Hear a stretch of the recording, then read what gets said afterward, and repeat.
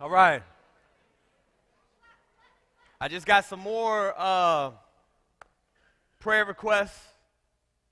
And this is what we're here for to seek our Heavenly Father. Uh, brother in the back has a friend who, uh, who, who just had a baby, and there's a hole in the, in the baby's heart. So we want to keep that situation lifted up. Um, our brother George uh, that comes here, George and Amy. George had an accident, crushed his ankle. And then um, our sister Sharonda here, uh, she's got some issues going on with her spine in a few different places and also waiting on some results for some things they found in her neck. So let's pray.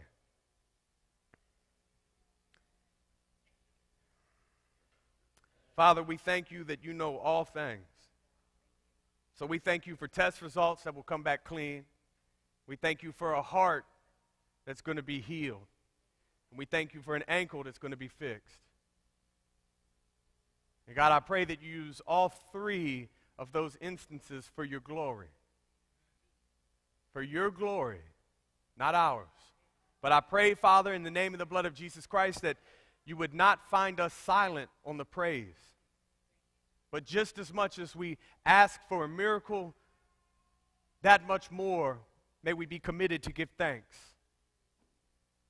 And so we trust in your plan and we walk in your will. Father, we lift up this opportunity to get into your word together as a family. We ask for wisdom, for guidance, for knowledge, discernment by the power of your Holy Spirit. This is the day that you've made, and our job is to rejoice and be glad in it. May we leave here changed for your glory. May every ear be willing to receive. May every eye be able to see the truth. May every person feel your holy touch. Have your way here. Your word says in 1 Samuel 2:30 that if we honor you, you will honor us in return. In the name and the blood of Jesus Christ, all God's children said together, church. Amen. Let's give God a clap of praise.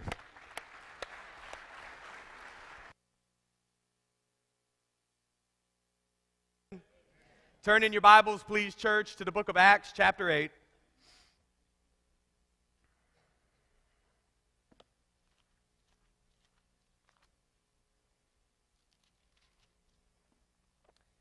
Acts chapter 8.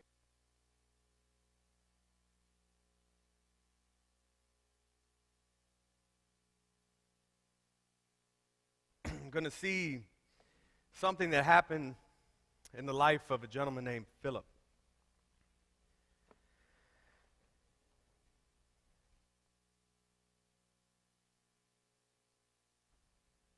Acts chapter 8, we're going to begin with the 26th verse.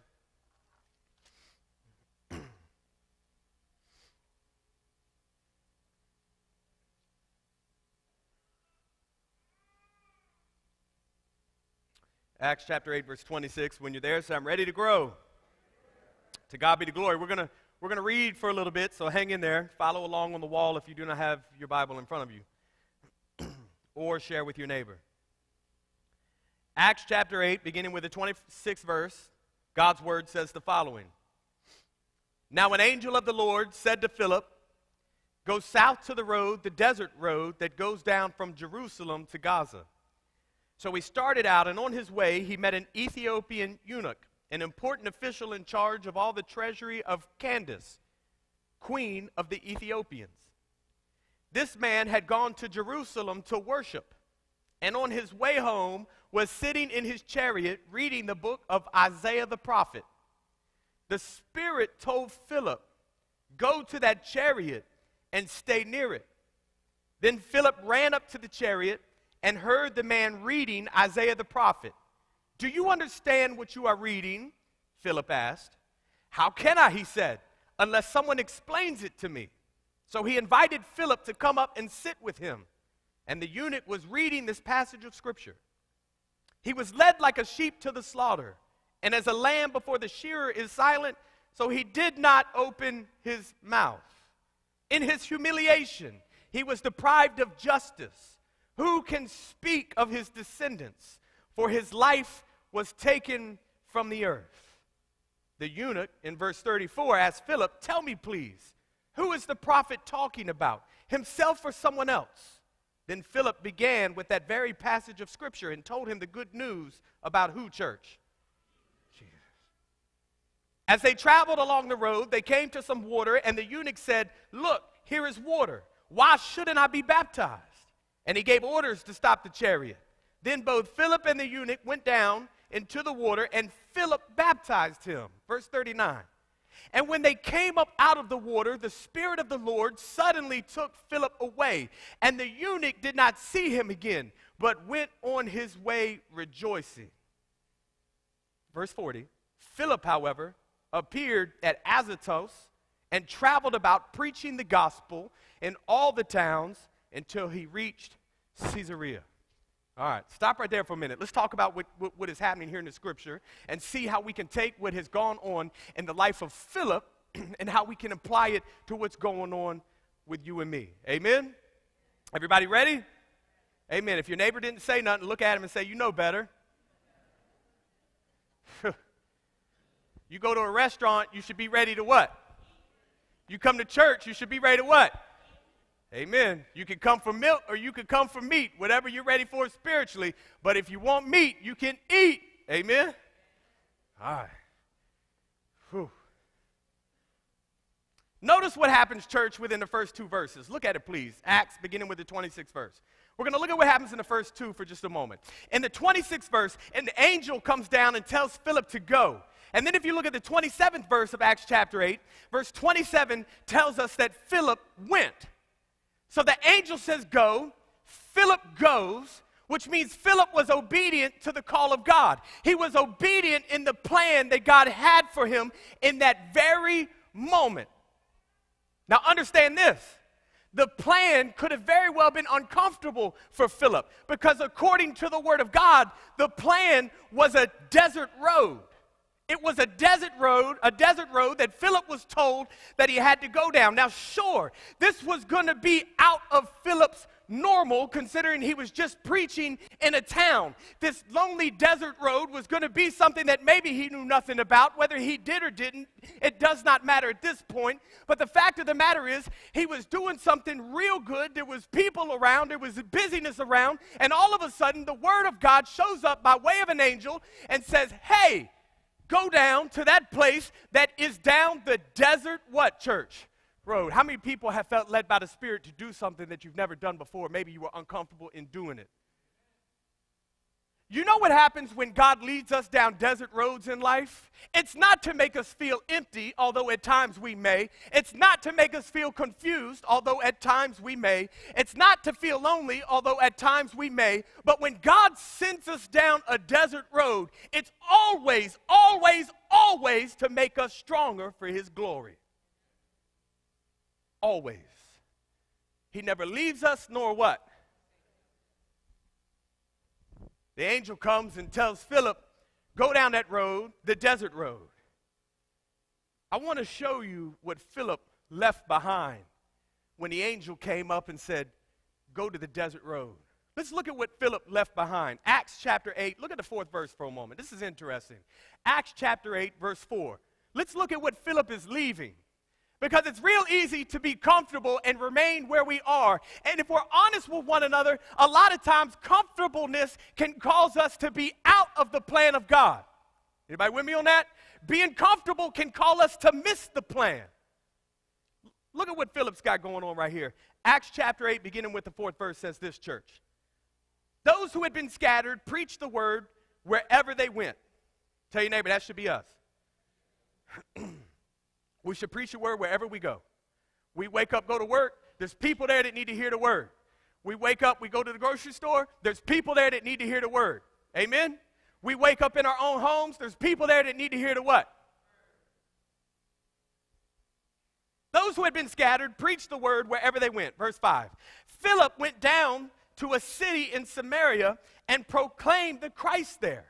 So he's preaching in this city. Verse 6. When the crowds heard Philip and saw the miraculous signs he did, they all paid close attention to what he said. With shrieks, evil spirits came out of many, and many paralytics and cripples were healed.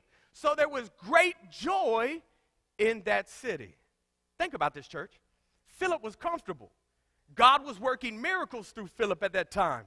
He was Philip was preaching to the crowds and according to the 6th verse, large crowds were not only coming, but large crowds were actually listening to the gospel. Philip had it made in that moment. How many people have been in a moment where you felt comfortable and God wanted you to leave? See, it's kind of like when you go up to a buffet. Brother Don took me to a buffet the other night. I had something for lunch that didn't settle real well, but he took me to dinner. And it was my favorite place on earth other than church. It was the Golden Corral. And I said, man, this brother's willing to pay for my dinner. I got, I really got to give my money's worth here because you know his money's worth anyway. And so even though lunch wasn't settling too good, I knew that when you go to a buffet, you go there to what church? I did my best. Had to really skip dessert, and he kind of looked at me and said, Son, that all you gonna do? I was in a comfortable place of the Golden Corral buffet. Had two choices.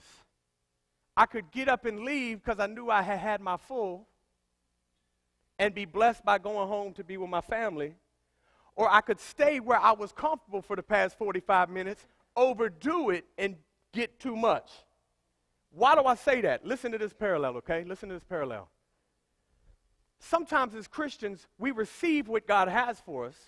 It is so comfortable that we remain in the moment for so long that, in essence, the moment has since passed but we still are trying to live in the moment. The moment's no longer in the present, the moment is in the past, and we're trying to currently live today what God was doing through us yesterday. Tell your neighbor, be careful. Because as long as I'm living in what God wanted me to do yesterday, I'm not going to be able to receive the blessing of and there's nothing wrong with seasons. You, your season could be a week, it could be a month, it could be a year, but sooner or later, listen, a season is never forever. A season is never forever. That's why it's called what? Philip could have been real comfortable in the season that he was currently in. He could have said, What? What's that to the angel? You mean, you mean I got to leave? Well, wait a minute. God, God is just doing miracles right here. God would not want me to leave this. How many people's argued with God before? Right? If you didn't raise your hand, you're probably arguing right now not to raise your hand. But but but but but but but God, this this this is so comfortable. I mean, look, look, angel, go back and tell God that that, that miracles are happening by, by the power of his spirit. God knows what he's doing. But but but but I'm preaching and people are receiving. God knows what he's doing. But, but, but not only are they receiving, they're hearing and lives are being changed. God knows what he's doing. And if God was doing all of that in that one moment, in that one city, don't you think if God says, get up and go here, that the same thing that was erupting here can now transpire there? Philip could have easily said, Nah, God, no, uh, God, you're, you're missing it. I'm going to stay here. Say, neighbor, God never misses it. Praise God because what's so wonderful about this story is the blessing in the obedience because whenever you're obedient, there's going to be a blessing. Whenever you're obedient to the Word of God, to the will of God, the plan of God, there's always going to be a blessing. It's God's nature. You sow seed, you get fruit. And so when you sow the seed of faithfulness to the one who created you, when you sow seed of faithfulness, God will reap a harvest of blessing. However, Philip could have just as easily been sowing a seed of disobedience and say, No, no, no, God, that, that, that is not for me. That is not my style. I do not hang out with those types of people. We, we, we, we just don't mesh well together. Then what happens when we sow a seed of disobedience? Every seed's going to bear fruit. It's either going to be good or it's going to be And so we have to be careful. Philip immediately, immediately, Philip knew, okay, he said, go, I got to what?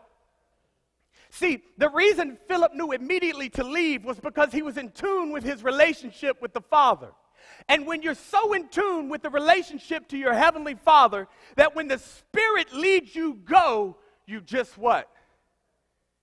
You remember Peter was on the boat and the storms rose up, and Peter said, Lord, bid me what? Praise the Lord, that one woman right there knew it. Gold star for the lady in the second row. All right, for everybody else who's already heard the answer, the answer's come. So, so Peter wanted to get out of the boat and he said, Bid me what? Now, don't you feel good now? And all of a sudden, the Lord said, What? And, and I preached on this numerous times, but let me just, for the sake of what Philip was going through, uh, see, we talk about Peter taking his eyes off of Jesus and onto the storm, but don't forget, Peter walked on water for a little bit. A lot of people say, oh, Peter, Peter, Peter, he sank. Well, when's the last time you walked on some? Because according to Scripture, Peter actually walked towards, according to Scripture, he walked on the water towards Jesus. And so we don't know for how many steps, but for at least some steps, he was strutting on top of the blue stuff. See, if we're willing to be bid come, God's willing to do whatever it takes to get us to where He wants us. Whatever it takes, whatever it takes. We, we cannot, we absolutely must not look at the what ifs or the have nots because God's got all the answers to the what ifs and God's got every provision for the what nots. And so Philip knew this. So when the angel of the Lord came down and said, Philip, leave the miraculous signs here. Leave the word that you're teaching here. Leave the people that are receiving here. And I want you to go down the desert road where nobody's at. You want to know why I truly think Philip knew he should go down that desert road? Because he knew the God he serves was doing so much incredible stuff right here that if he's ready to pull me out of this, something real cool is going to be the end of that dirt road. I'm going to see it. If it's so important that he's plucked me out of this season and thrust me into this one, it's worth going. It's worth going. How many people, and don't point, just raise your hand. How many people, someone calls your cell phone and you're tired of them calling your cell phone and you don't pick up for them in that moment? Don't point, especially if it's a person sitting beside you. You, you, you ever you ever had a, a, a, friendship with someone, and not to say that the friendship's over, but the closeness of the friendship, the intimacy of the friendship, if you will, between, between two sisters in Christ or two brothers in the Lord? Have you, have you ever just knew it was just done on that level? God brought you together for a season, and then you got to go meet someone else for a new one. And that's okay. Philip's at the point where he's actually torn loose from what was so good, and he's torn loose from what was so good to receive something so great down the road. Very interesting because Philip was comfortable, but he was willing to get uncomfortable by stepping into the will of the unknown. God then called Philip out of all of that. He said, Go down the desert road. Now, listen, church, if God's going to call you out of your comfort zone, all right, not for the purpose of making you uncomfortable, but rather for the purpose of strengthening you. And God will even call you into the realm of uncomfortable to strengthen people around you to see how you act, react, and adjust to the uncomfortable. God will use you to bless others. He will use you to strengthen others. He will use you to teach others. And that's a lot of times why we have to leave the realm of comfortable because someone new needs to hear what we're talking about. Philip could have easily stayed in the same group of people, but God said, in essence, You've been faithful. I'm going to carry you over here to those who need to hear. I want to show you something in Scripture. Turn to Acts chapter 8, verse 27 for a moment, please, church.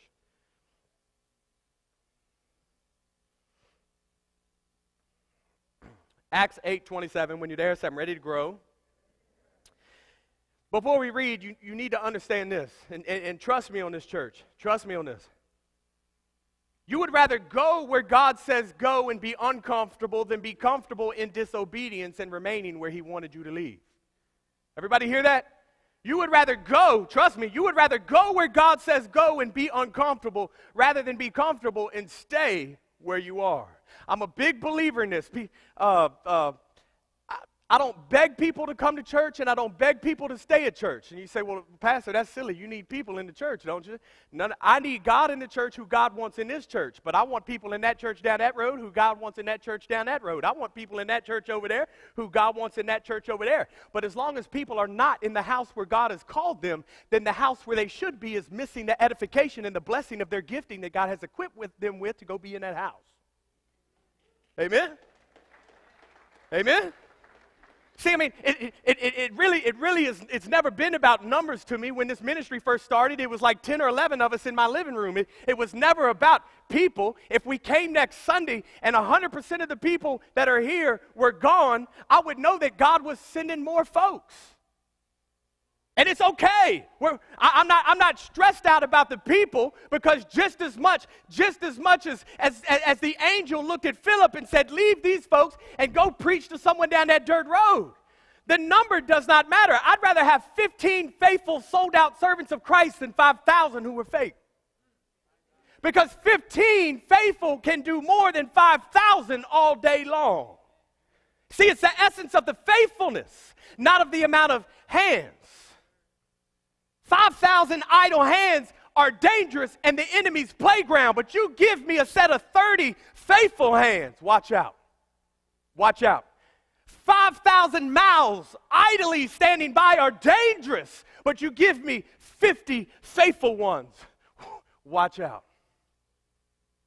See, Philip knew that it was all about obedience to the Father. And when he says, go down that dirt road, he never questioned it once he picked up and he went down to what church? It may not have been the prettiest street coming out of that city. It may have been the emptiest block on the get go. And for a while, it may have been the loneliest traveled path to travel. But Philip got to the point to where he just knew God is in control. And when my father says, go down that empty road, it ain't going to be empty for long because he's got purpose in my life. And he's not going to send me down a road with no plan, no will, or no purpose. And I may not see it right away, but sooner or later, I'm going to know why I'm here. See, a lot of times when God calls me to do something and I don't have the answer right away, I get excited waiting for the outcome to transpire. Okay, well, let's go. We're going to step out in faith, and then, well, what's the reason? Don't need to know it right now, but sooner or later, we what? We will know. All right, Acts chapter 8. We're going to start out with the 27th verse. Everybody there? Thank you for the three who bought your Bibles. Acts chapter 8, the 27th verse says this. Speaking of Philip. So he started out, tell your neighbor, you just got to go. I mean, the angel said, Go in the very next verse. So he started out, and on his way, he met an Ethiopian eunuch, an important official in charge of all the treasury of Candace, queen of the Ethiopians. And this man had gone to Jerusalem to worship. And on his way home, he was sitting in his chariot reading the book of Isaiah the prophet. And the Spirit, capital S, and the Spirit of God told Philip, Go to that chariot and stay near it. Then Philip ran up to the chariot, heard the man reading Isaiah the prophet. Do you understand what you are reading? Philip asked. How can I, he said, unless someone explains it to me? So he invited Philip to come up and sit with him. Stop right there, church. Two things to take note of here that we, we too should use when we witness to others. Two very important things that are critical here. Number one, Philip went to the Ethiopian's chariot, okay? Now, now, now listen, church. If you want to lead the lost to Jesus, they don't always fall out of the clouds and land in your lap. Amen? If, if, if, if you. All right. How many people in here have steel toed boots on? Amen. Two. Anybody else? Three. Four. All right. Ladies, what's up? Got my steel toe heels. All right. This is going to hurt a little bit, but it's the truth. This is going to hurt a little bit, but it's the truth. Let me come to this side and say it. This is going to hurt a little bit, but it's the truth. Everybody ready? If you've not witnessed the gospel to someone in the past month, there's a problem. If you've not witnessed the gospel to someone in the past two months, there's a problem. If you've not talked about Jesus and offered salvation in the last year, there's a huge problem. But see, that's the predicament and the epidemic that the church has found itself in. We stay shut up, clammed up, wrapped up, warped up. And that's exactly why the political system is where it is today. Not just recently, it's been jacked up for 50 or 60 years. We're too quiet when it comes to truth. All right, everybody hold on because it's really going to hurt. This is going to this is going to penetrate the steel toes. Everybody ready for this?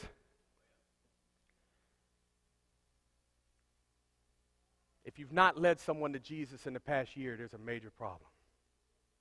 Oh, Pastor, I'm no preacher. No, but if you're a child of God, that's all you need. How do you know that? Because if you've been saved, the Holy Spirit comes and enters inside of you, and He has equipped you, according to Scripture, with every good what? Hmm.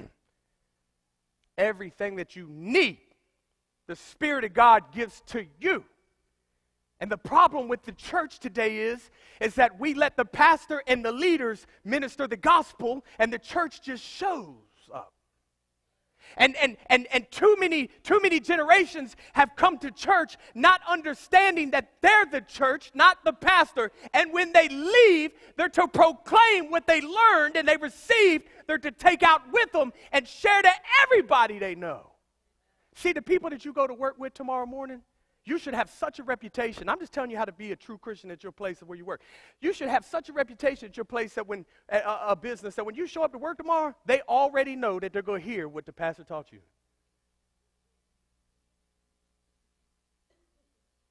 There should be some people running from you.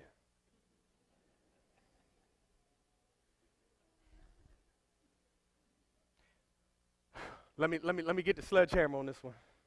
Everybody ready for this? Because I say this with love. I say this with love.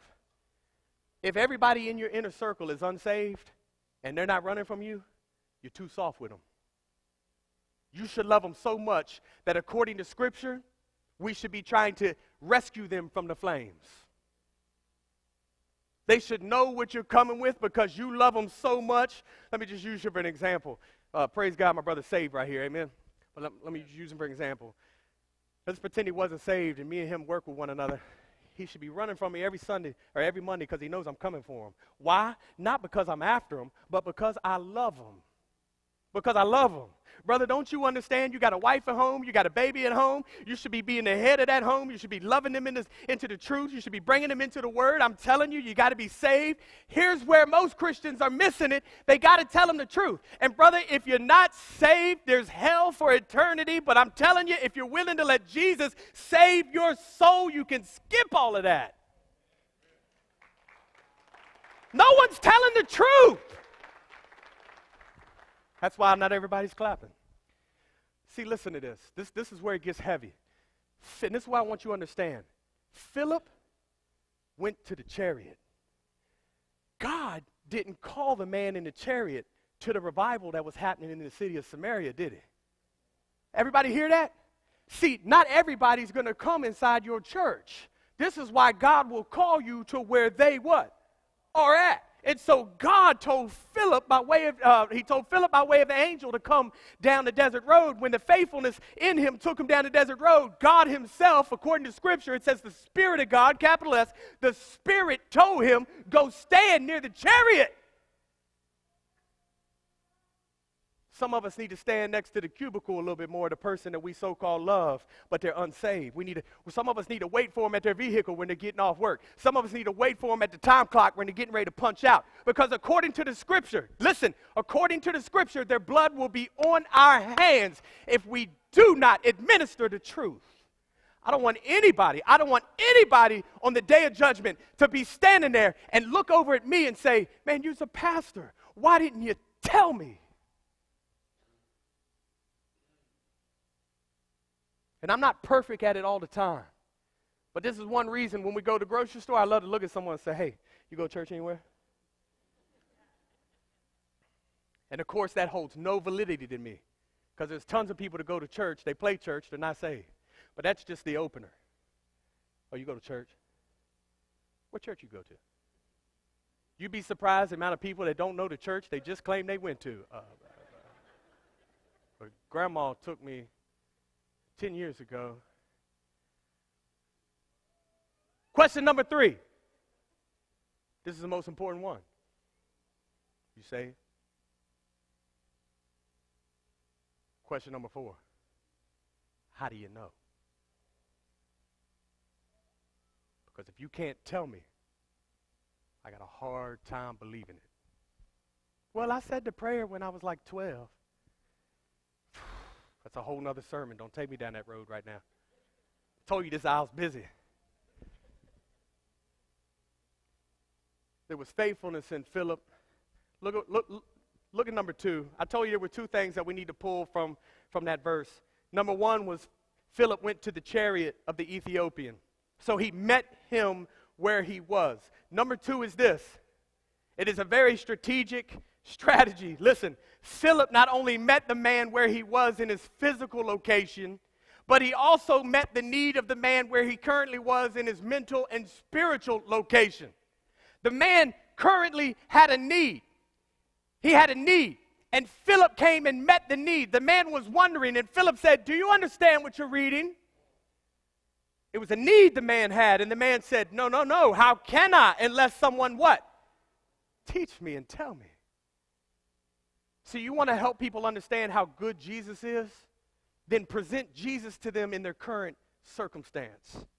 Oh, you, you, you're going through something, sister? Well, I tell you what. Rather than me sit here and tell you about God parting the Red Sea, and rather me sit here and telling you about, you know, Moses, and rather, rather me sit here and tell you about Lazarus raised up from the dead, you know, we pull back all them great stories. Let me just tell you what Jesus can do with your current situation. See, we're going to believe in faith, and we're going to be praying together, and I'm going to have some saints in the church praying, and, and we're going we're to be praying that those results come back good. And as far as the spine goes, we just going to believe in the name of the blood of Jesus Christ that when you wake up in the morning, that thing's going to be straight. Ain't nobody going to help, have to help you get out of bed. You're going to be able to do it on your own because the authority in Jesus Christ that lives in you. See, see, we have to get to the point, church, to where we, I'm not, I'm not just trying to tell you the, the great things about God in the scripture. I want to tell you the great things about God today. Today. The reason many people never enter into the doors of church is because they feel like church is not relevant to their lives. And the reason they feel like church is not relevant to their lives is because the church is not making it relevant. We got to administer the good news in the comfortable places and in the uncomfortable places, in the crowded places, and even on the desert road. Something else happens that really just blows my mind here. It really is a beautiful thing in this, in this part of Scripture. I want to take you there. Go to 1 Peter chapter 3 for a minute, church. 1 Peter chapter 3.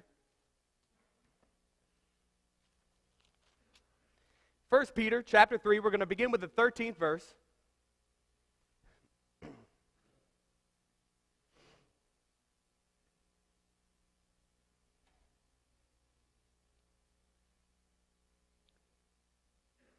If you're looking for 1 Peter, it's just before 2 Peter. Amen. Good way to find it. 1 Peter chapter 3, verse 13. When you're there, say, I'm ready to grow. Well, by the, by the grace of God, we will. It's His word. And this is what it says 1 Peter chapter 3, beginning with the 13th verse. Who is going to harm you if you are eager to do good? But even if you should suffer for what is right, you are what, church? Blessed. Do not fear what they fear. Do not be frightened. But in your heart, set apart Christ as who? How to think about that. But in your heart, set apart Christ as Lord. Always be prepared to give a what? Mm. Always be prepared to give an answer to everyone who asks you to give the reason for the hope that you have. But do this with gentleness and respect, keeping a clear conscience, so that those who speak maliciously against your good behavior in Christ may be ashamed of their slander. It is better, verse 17, it is better if God's will to suffer for doing good than for doing what? Yeah, stop right there for just a moment. In the middle of the 15th verse, if you look at it, please, in the middle of 1 Peter chapter 3, verse 15, it says the following. It tells us, always be prepared to give a what? Listen, you got to know what Jesus has done for you. You may not know all of it, and I understand that. I don't even know all of it because that's how good God is. But you got to be ready to tell someone about Jesus and what he's done now not a thousand years ago, not 2,000 years ago, not 3,000 years ago. We got to be able to tell them what Jesus is doing right now. And listen, I- I'm excited about telling you what Jesus is doing right now because that lets you know that He's alive, He's living, He's well, He's active. His word is sharper than any double edged sword. I'm telling you, He's with me today. And if you're willing to receive Him, He'll be with you today as well. Do you want it? Do you want it? Because if you do, you can have it. And you can have all of it. See, in this latter day, how many people, by show of hands, how many people realize that we are blessed to live in the latter day? I mean, it's incredible. See, what we're seeing, the, the saints of old, the prophets of old, the patriarchs of old, they long to live to see with their own eyes. We are favored to be in this moment. I mean, think about it. Eh, do you realize that, that there is a potential in this very moment that when you walk out of those doors, for all you know, heading to your vehicle, that you are about to hear a shofar in the eastern sky split? That's the moment you're living in. I mean, this is exciting stuff. I mean, that's the moment we're living in. I mean, this is cool stuff. They don't teach this in public school. They don't teach this in unchristian colleges. But this is good stuff. I mean, this is the day we're living in.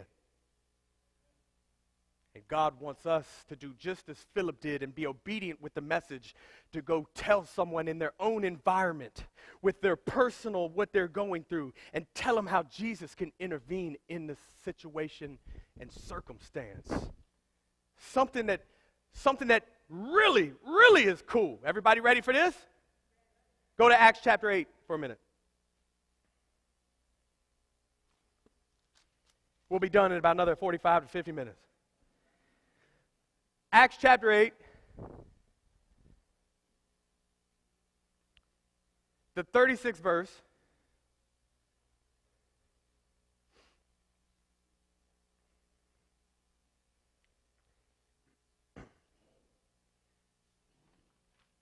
Acts 8, 36, and we're going to read a few verses. Pay attention to this. This is pretty amazing.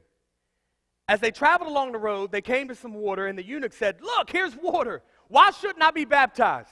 And he gave orders to stop the chariot. And then both Philip and the eunuch went down into the water, and Philip baptized him. And when they came up out of the water, the Spirit of the Lord suddenly took Philip away, and the eunuch did not see him again. But the eunuch went on his way, what, church? You see, even when God calls you down a road you've never been on before, He still has a plan and a purpose. Now, listen to this, church. There is always blessing for the obedience. So, I'm going to show you that and prove it in Scripture right here. That even when you go down the path of the unknown, there's blessing coming if you're obedient to travel the path. Here's the proof in the pudding Acts chapter 8, verse 40. Everybody ready for this? Thank you for the four that are ready. Five. This just blows my shoes off. Acts 8:40 says this.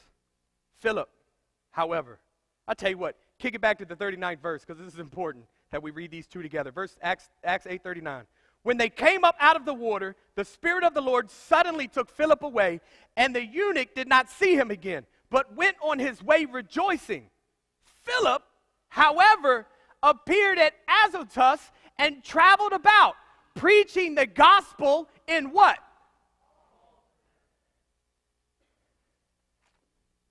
There's always blessing at the end of obedience. In the beginning, we thought Philip had it made. Pay attention to this. At the beginning, we thought Philip had it made because he was preaching in one city. Everybody say one city. We're going to learn this together. He was preaching in one city. God was doing miraculous things in that one city. People were being healed in that one city. According to scripture, there were shrieks coming out of folks, and demons and evil spirits were leaving people in, in that city. There was some great things going on in that city. Everybody was listening, everybody was learning, everybody was loving in that one city. Things was real good. God sends an angel and says, Go down that desert road. Philip says, Okay. In his obedience, he gets blessed to hear the call of the Spirit of God. And the, the Spirit of God says, Go stand by that chariot. And again, there's obedience. See, listen, if you're willing to be obedient and do what God says, even if you don't know the outcome, your blessing just might be able to see the outcome when you're obedient. But so many people stay lost because they're not obedient to go. But if you're just willing to go, God will show you the rest. Amen.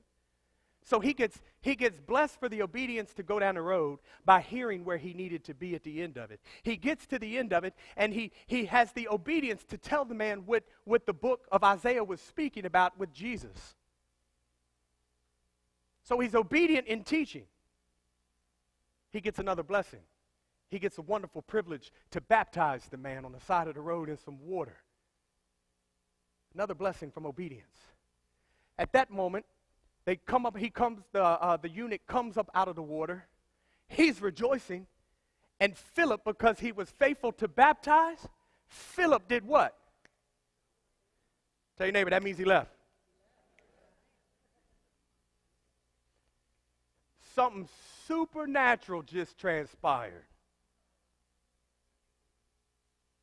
Something supernatural just, just transpired because he was obedient to baptize.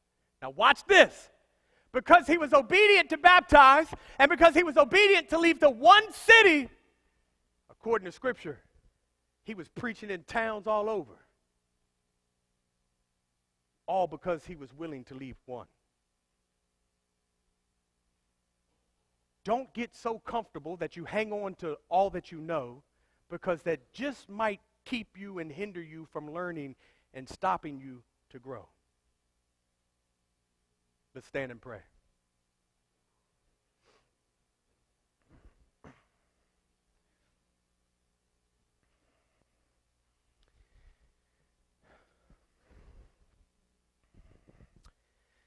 For all of those people that are here, and there's, there, there's, no, there's no shame here. Listen, there's absolutely no shame. But if you're here and you haven't led someone to Jesus in the past year, but you've got a desire to do that, then I'd invite you to just raise your hand right where you are as a sign of faith, not to me, but to your God. And if you've not raised your hand and you've not led someone to the Lord, it's my personal prayer that you would have the desire to lead someone to Jesus Christ. And so, Father, I pray for each and every one of those individuals who do not maybe they're here and maybe they just don't understand the importance. I thank you, God, that someone shared the gospel with them. And I pray that they, they understand that and they share it with many, many others. I pray for every hand that's in the air. For every, for every person that has a desire to lead people to Jesus. It doesn't mean that you're a pastor or a preacher or a teacher or an evangelist. What it means is that you're a servant of Jesus. And that's all that matters. That's all that matters. Father, we lift up those individuals to you that have that hunger and desire. God, I pray that you would let them know who to speak to, what to say, when to say it, how to respond, how to react. May they be in tune with your spirit, Lord. And may they be obedient to travel the lonely road. For all those that are here and you've never received Jesus Christ as your personal Lord and Savior, I'm telling you, there's been no better day than today. And if you recognize today that you need Jesus to save your soul, I'm telling you, the Word of God says, the Word of God says that that's the only way to heaven is through the Son. And if you're here today and you recognize that you need to be saved for the first time, I invite you to raise your hand right where you are. You've never done it before, but you know today's your day. And you need that salvation. Anybody.